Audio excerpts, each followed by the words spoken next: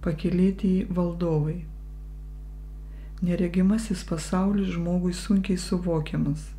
Pirmiausia, jis neregimas, neapčiuopiamas ir pripažinti, kad jis egzistuoja, žmogui nėra lengva. Bet jeigu pripažįstate, kad egzistuoja Dievas, tai turite suvokti, kad yra ir kita materijos forma. Dievas tai labai aukštos vibracijos.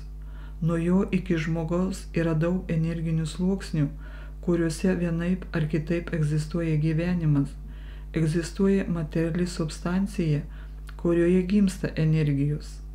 Jos klaidosi kitoje zonoje, kitoje sferoje, beveik nepaveikdamos žmogaus gyvenimu. Kiekvienos sferos gyventojai išspinduliuoja į erdvę tam tikrą energiją. Kiek svarbi žmogaus išspinduliuota energija, tiek pat svarbi ir kitų būtybių išspinduliuojama energija, kūrybinė energija. Pakilėtieji valdovai yra vieni iš tų, kurie apčiopiami žmogaus sąmoniai, su kuriais žmogus yra pajėgus užmėgsti ryšį ir bendradarbiauti. Pakilėtieji valdovai tai dalis nušvitusių sielų, kurios buvo įsikūnijusios žemėje. Jie pakėlė savo samoningumo lygį iki paties aukščiausio žemiško lygio ir susiliejo su pakilėtojų valdovo erdve. Tai yra erdve, kurioje gyvenimas vyksta pagal kitus standartus, bet kurie taip pat pavaldus Dievui, nes viskas yra iš Dievo. Šioje pakilėtojų valdovų zonoje dirba ir gyvena ne tik iš žemės kilusios sielos, Į šią sferą ateina subrendusios sielos iš kitų planetų. Tai bendra daug gyvybės formų įjungianti sfera, esanti tam tikrų energinių virpesių lygmenyje. Ir čia vyksta gyvenimas. Pakilėtieji valdovai, kas jie? Pakilėtieji savo įsikūnijimo metu subrendo, įgyjo patirties, ją išgyveno, sugebėjo pakilėti savo žemiškosios sąmonės vibracijos ir susilieti su savo aukštesnės sąmonės vibracijomis. Siela, įsikūnydama Žemėje ar kitoje planetoje, vystosi nuo žemiausio iki aukščiausiojo ligmens. Kylant jo samoningumui, ji bręsta vis aukštesnėme lygmenyje. Yra daugybė aukšto energijonių lygmens sielų, kurios nepasilieka aukštesnėme lygmenyje, bet vėl kūnijasi žemėje ir prisijima paskirtį iškelti visos žmonijos sąmonę į aukštesnių vibracijų pasaulį. Pakilėti valdovai visada gali įsikūnyti žemėje ir padėti žmonėms ugdyti sąmonę. Kai žmogus melžiasi, medituoja ar užsima kitą dvasinę praktiką, jis išlaisvina savo mintis iš kasdienybės ir sutelkia dėmesį į pakilėtusius valdovus, į aukštesnės jėgas. Tuo metu žmogus savo minčių spindulį nukreipia į aukštesnę sąmonę ir iš ten gauna atgalinį ryšį. Taip jis papildo savo energinį kūną aukštesnių energijų vibraciją. Jei žmogus nuoširdžiai melžiasi Marijai, Budai, Jėzui ar kitoms aukščiausiosioms būtybėms, jis gauna grįžtamą į ryšį iš jų. Gali būti, kad žmogus iš karto nepajunta to ryšių nes jį yra apgaubęs karminis debesis, kolektyvinė sąmonė, įpročiai, prisirišimai. Visa tai, kas neleidžia atsipalaiduoti, išsivaduoti iš kasdienio gyvenimo. Bet sąveika vis tiek vyksta. Aukščiausiųjų būtybių skaičiama šviesa degina visus blokus. Jeigu žmogus nuolat nukreipia savo minčių energiją į aukščiausiasias jėgas, tos jėgos gražina jam savo energiją ir jį valo, kol galiausiai žmogus pradeda jausti palengvėjimą, šilumą, gerumą, meilę. Jis pradeda jausti aukščiausiųjų jėgų skleidžiamą energiją. Tai reiškia, kad toms jėgoms pavyko suskaldyti žmogų gaubusi negatyvumo bloką.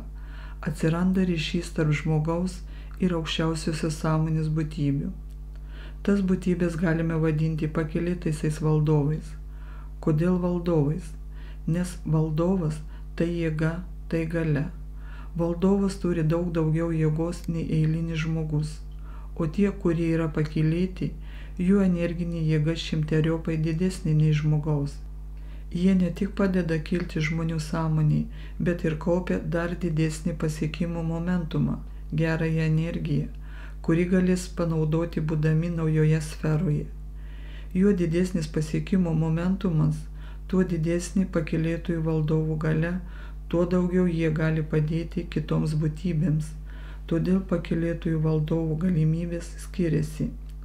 Jokio žmogaus energija neprilyksta ne vienam iš pakilėtųjų valdovų. Vieni iš pakilėtųjų valdovų turi tiek energijos, kad gali nuolat bendrauti su žmonėmis, kviesti juos į mokinius, dirbti kartu tiesiogiai. Norėdamas įsilieti į žemės erdvę, valdovas turi išeikvoti daug energijos. Todėl ne visi pakilėtieji gali sauliaisti nuolat lankyti žemėje ir padėti žmonėms. Dalis pakilėtųjų valdovų energija yra tokių aukštų vibracijų, kad jie nebegali bendrauti su nepasiruošusiais žmonėmis dėl per didelių vibracijų skirtumų. Paprasčiausiai jų energijos degintų žmogų ir šis jaustų fizinio kūno ir psichikos diskomfortą. Kai kurie pakilėtieji valdovai randa tarpininkų, tam paruoštų žmonių, per kuriuos bendrauja su kitais žmonėmis. Tie tarpininkai tarsi energijos transformatorius priima aukštas vibracijas ir priderina jas prie bendro energinio žmonių ligmens.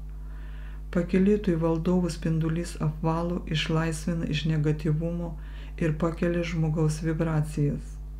Vibracijų pakelimas visada sukelia vidinę sumaištį, vidinę kovą. Žmogus pradeda suvokti, kad gyvenimas turi kitokią prasme kitokias vertybės, nei jis manė iki šiol ir jam sunku jų atsisakyti. Atsiranda vidinių prieštaravimų tarp naujo ir seno. Nuolat kreipiant dėmesį į aukščiausiasias jėgas arba į Dievą, energijos bus paduota tiek, kad išlaisvins visus blokus, išnyks prieštaravimai, skausmai ir žmogus galės lengvai ir paprastai atsiskleisti naujam gyvenimui. Taip siela įgaus jėgos įsikūnyti aukštesnių vibracijų pasaulyje. Pakilitaisiais valdovais tampa labai mažai sielų, palyginti su tuo, kiek jų yra, nes vis dėlto tai labai ilgas procesas, kuriam reikia begalinių įdirbių tiek Žemėje, tiek kitose pasauliuose. Pakilėtai sąmoniai suformuoti, reikia susipažinti su kitomis pasaulio formomis, kitomis gyvenimo tiesomis. Sielos, kurios išsilaisvino iš žemiškosios sąmonės gniauštų, naujus savo įsikūnijimus gali planuoti kitose planetose ir vėliau grįžti į pakilėtų žmogaus sąmonės būseną į penktąjį lygmenį.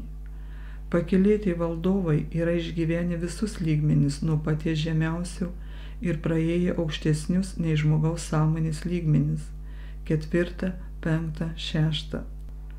Pakilėti valdovai tai septinto, aštunto ir devinto lygmenų sąmonės gyventojai. Tam, kad išgyventų lygmenis, kurių nėra Žemėje, jiems reikėjo kūnytis kitose planetose. Todėl ir aiškinu, kuo skiriasi žmogaus tobulėjimas ir jo perėjimas į naują žemišką lygmenį nuo žmogaus tobulėjimo ir perėjimo į pakilėtojų valdovų sąmonės lygmenį. Norint pasiekti pakilėtojų valdovų sąmonės lygį, reikia įsikūnyti ne vien tik žemėje, nes žemės erdvėje dar nėra susiformavę ketvirtas, penktas ir šeštas lygmenis, kuriuos turi išgyventi siela, kad subręstų. Todėl, būnant žmogumi, pasiekti pakilėtojų valdovų sąmonę praktiškai neįmanoma, bet būnant pakilėtojų valdovų galima kūnytis kur panorėjus. Valdovai pasirenka, kur ir kada įsikūnyti ir kokią idėją skleisti žmonijai, kad padėtų kelti žmonijos sąmonę. Didžioji dalis pakilėtųjų valdovų savo tobulėjimo kelią pradėjo Lemūrijos laikais, kai kas save ugdė Atlantidos laikais. Dabartinėje civilizacijoje nebuvo įmanoma pasiekti tokio aukšto energinio ligmens, kad žmogaus sąmonė pakiltų iki pakilėtojų valdovų sąmonės. Literatūroje aprašyti pakilėtojų valdovų įsikūnijimai nereiškia, kad tuose įsikūnymuose jie save augino, tobulino ir pasiekė tą lygmenį. Tai reiškia, kad pakilėtieji valdovai nusprendė padėti žmonijai ir įsikūnijo tam tikrų metų, kad savo veiklą įneštų į žemės gyvenimą naujumo ir taip išlaisvintų užsiblokavusią sąmonę. O naujumo įnešti galėjo bet kokia forma - per dailę, muziką, filosofiją, politiką ir panašiai.